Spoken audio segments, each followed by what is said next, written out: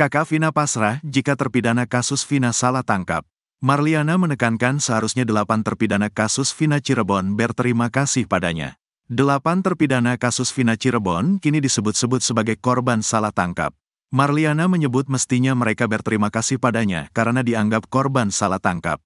Kasus Vina Cirebon masih menuai polemik.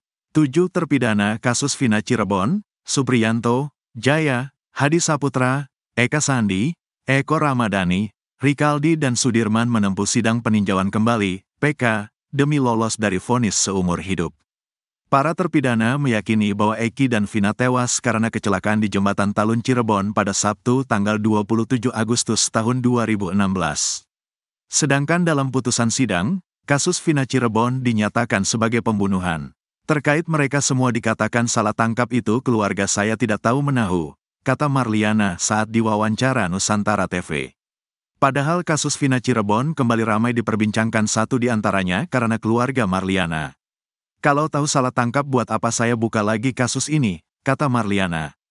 Marliana menekankan mestinya para terpidana kasus Vina Cirebon berterima kasih padanya. Justru harusnya mereka terima kasih sama saya dan keluarga karena saya berani speak up, akhirnya semua ikutan tergotong mencari tahu faktanya, kata Marliana. Namun kini keluarga Vina justru disudutkan oleh banyak orang. Tapi di sini keluarga saya disudutkan makanya saya sekarang mendekatkan diri dulu sama Allah, katanya. Diketahui ketika Sudirman dan enam terpidana lain menjalani sidang PK kasus Vina Cirebon, Marliana kini tengah menjalankan ibadah umroh selama 12 hari. Saya capek, saya lelah, setiap ke mana-mana orang melihat saya sinis, padahal kenyataannya saya tidak tahu menahu dari awal mereka ditangkap, kata Marliana. Ia mengaku akan legowo menerima putusan bila terpidana kasus Vina Cirebon dinyatakan sebagai korban salah tangkap.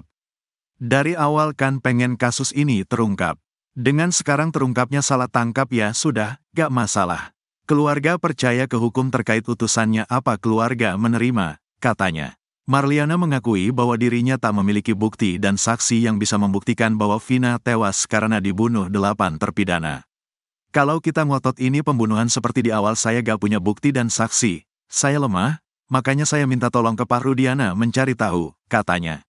Delapan tahun berlalu, Marliana memilih untuk pasrah menunggu putusan sidang PK kasus Vina Cirebon. Ia mengaku trauma bila harus berusaha mencari saksi dan bukti kasus Vina Cirebon. Kalau seperti dulu mencari tahu lagi siapa pembunuhnya saya trauma takut ada salah tangkap lagi disalahkan lagi, saya ke arah pasrah. Kalau benar ini pembunuhan dan ada pelakunya biarkan Allah yang mengadili karena saya tidak bukti dan saksi daripada salah tangkap menyusahkan orang, katanya. Apa pun keputusan pengadilan insya Allah saya dan keluarga menerima, tambah Marliana. Ia mengaku kasihan pada terpidana kasus Vina Cirebon bila memang benar korban salah tangkap. Kalau salah tangkap ya syukur Alhamdulillah, kasihan kan kalau memang bukan pelakunya sampai nanti di dalam bui seumur hidup, kasihan juga, kata Marliana kakak Vina Cirebon.